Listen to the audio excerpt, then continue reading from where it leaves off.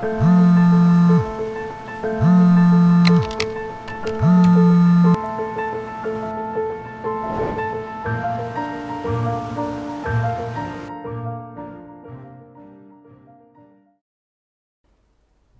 добрый день, коллеги. Давайте поговорим про новую реальность, про критериальное оценивание на основе элементов Moodle.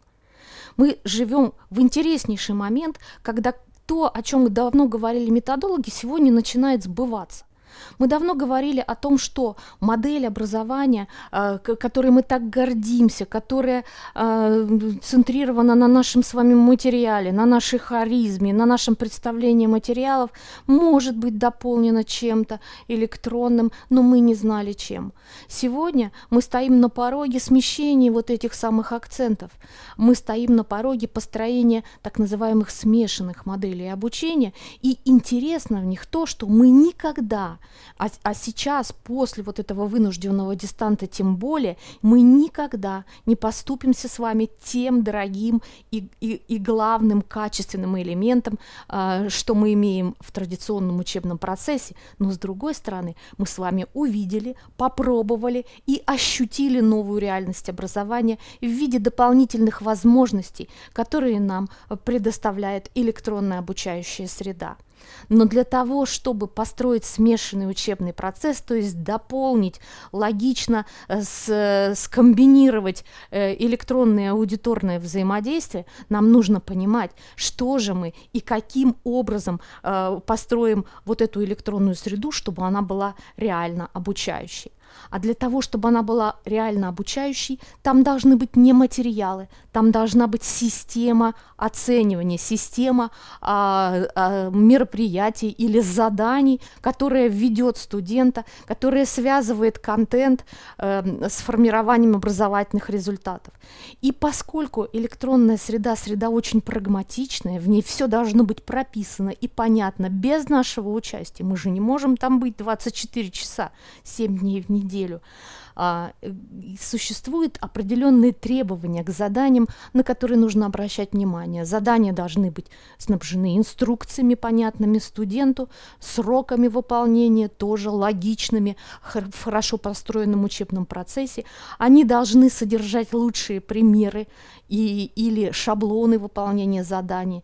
Но самое интересное, они должны быть снабжены четкими критериями оценивания. Если мы посмотрим на инструменты оценивания LMS Moodle, мы увидим, что там, безусловно, есть элементы автоматического оценивания, и это очень ценно, это разгружает нас с вами а, в период проверки.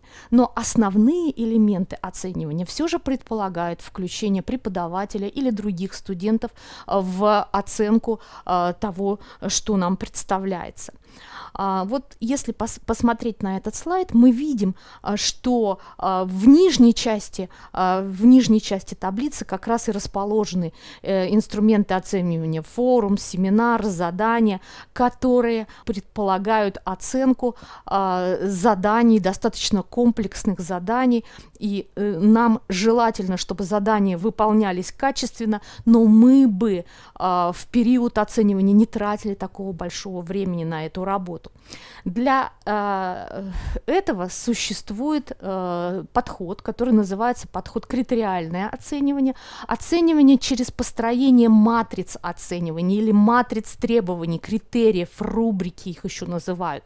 Вот если мы посмотрим на эту таблицу, мы увидим э, по вертикали определенные требования, которые предъявляются к работе, а дальше они расписаны, то есть своеобразные дескрипторы, которые позволяют определить э, работу в, по конкретному критерию на сопоставление с конкретным баллом, который мы за нее э, даем студенту.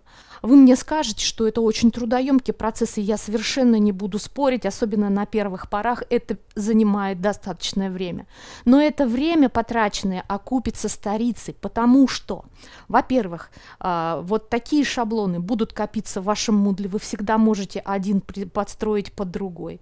Во-вторых, это будет колоссально разгружать вас в период э, проверки работ, а студентов будет нацеливать на очень качественную работу.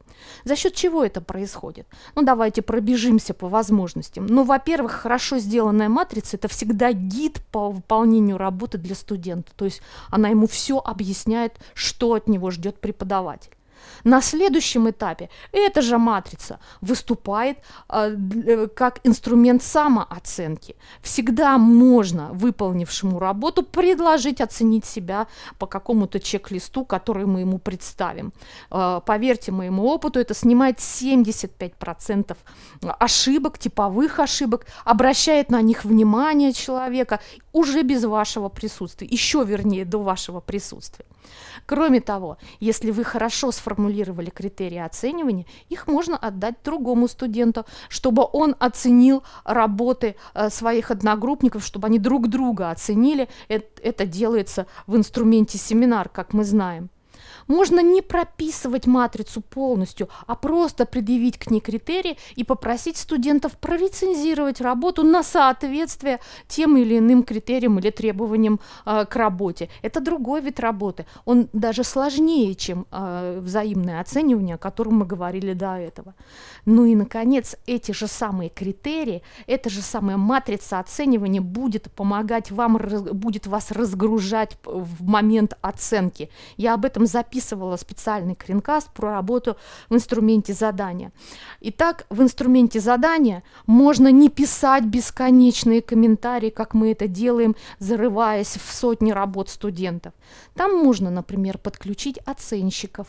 Оценщиками могут выступать по очереди студенты. Можно организовывать в курсе дежурства. А, одна группа проверяет одно задание, следующее другое, третье. Если у студентов есть такой инструмент, как ваша матрица, э, и вы с ними предварительно немножко поработаете, они прекрасно по очереди за дополнительные баллы будут оценивать работу друг друга. Ну и, наконец, это, конечно же, э, э, инструмент оптимизации вашей собственной проверки в инструменте задания. А, я об этом писала, мы еще об этом поговорим. Давайте немножко сфокусируемся э, с позиции критериев на взаимной проверке или то, что называется peer-to-peer, когда студенты подключаются к комментированию, рецензированию, проверке работ друг друга. Это немножко новая реальность для нашего образования, но реальность, реальность будущего, потому что она строится на современных горизонтальных сетевых связях и дает новую психологию в образовании, мы к ней привыкнем потихоньку и приучим своих студентов. Посмотрите, я уже сказала, что э, на первом, э, первый момент, если студент получил вашу матрицу оценивания, он получает достаточно интересный гид. И это первая рефлексия над работой с позиции заданных вами э, определенных, э, определенных подходов. А если мы ему даем ту же матрицу на самооценивание, это второй круг рефлексии, которого нет в традиционном обучении. Он еще раз просматривает свою работу на предмет э, э, соответствия тому, к чему мы его ведем. Если после этого он получает на проверку еще две три, может быть, одну работу, как вы решите, а других студентов, он начинает э, в третий, в четвертый, в пятый раз рефлексировать над работой, уже отталкиваясь от видения того же вопроса другим студентам. И это очень ценно. Ну и, наконец, последнее.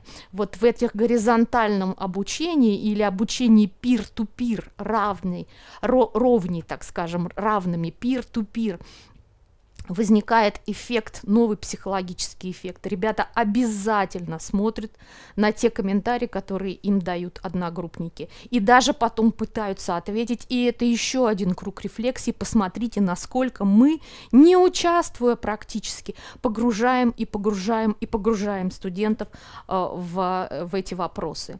Ну и просто несколько слов э, по, по настройке инструмента задания. Обращайте внимание, что кроме простого непосредственного оценщика – оценивания есть оценивание рубрики, где можно построить вот эти самые наши матрицы. И тогда работа слева, матрица справа, работа, как правило, проверяется быстро, оценивание идет, ну, в 10 раз точно быстрее, чем обычно.